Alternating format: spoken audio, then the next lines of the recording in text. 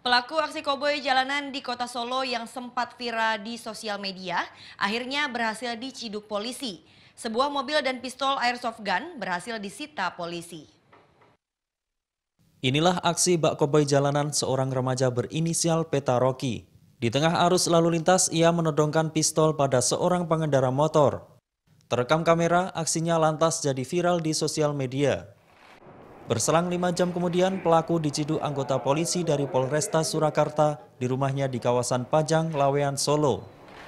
Satu unit mobil bernopol AD7157AH beserta sepucuk pistol airsoft gun model Makarov turut diamankan polisi.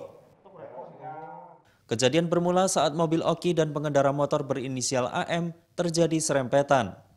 AM yang merasa diserempet menggedor mobil pelaku, hingga membuatnya emosi dan mengancam dengan sepucuk pistol airsoft miliknya. Emosi mas. Hmm. Emosi karena apa?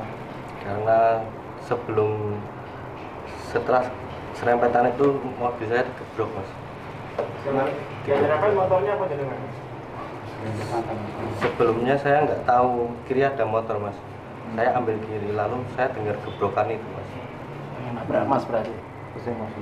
Saya nggak tahu. Nah posisinya kiri saya, saya lihat kosong.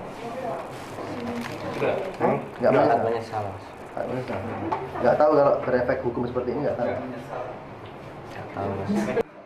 Selain itu, pelaku juga sempat menembak AM sebanyak empat kali. awali dari serempetan antara tersangka dengan pelapor korban. Kemudian dari situ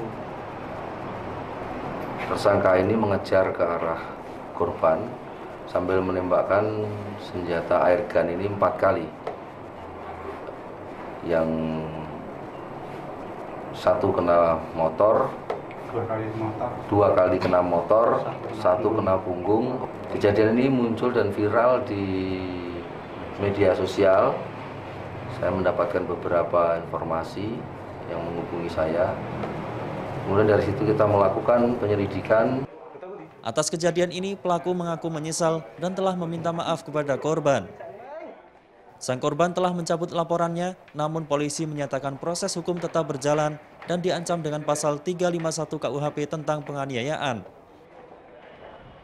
Angga Eka melaporkan untuk NET.